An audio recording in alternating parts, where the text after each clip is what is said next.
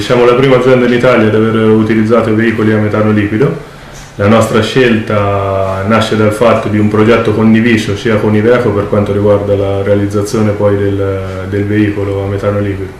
sia con Eni che è stata la prima ad aver poi aperto il primo distributore in Italia a metano liquido. Insieme a loro abbiamo fatto questo percorso che poi ha portato ad avere noi come LC3 in flotta attualmente 70 veicoli alimentati a, a LNG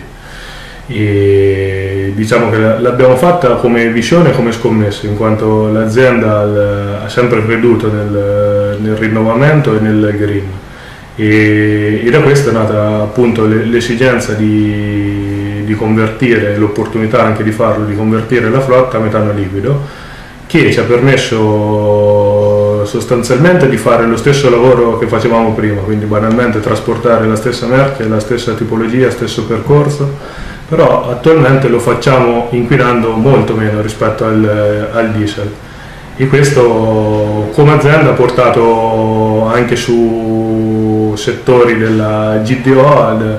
a fare programmi condivisi, quindi dei progetti con, con vari attori della GDO che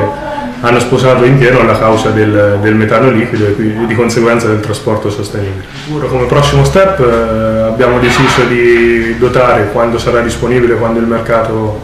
sul mercato sarà disponibile, i nostri veicoli che già sono predisposti a, ad usarlo con il biometano liquido. Il biometano che può essere estratto da reflui piuttosto che da, che da rifiuti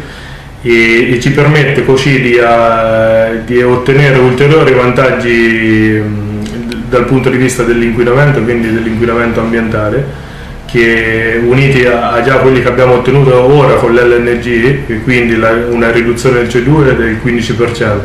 dei NOx all'incirca del 50%, polveri sottili del 95%. Con il biometano andremo a ridurre ulteriormente la CO2 di un, di un 95%, quindi praticamente andremo quasi ad azzerare il, il fattore CO2.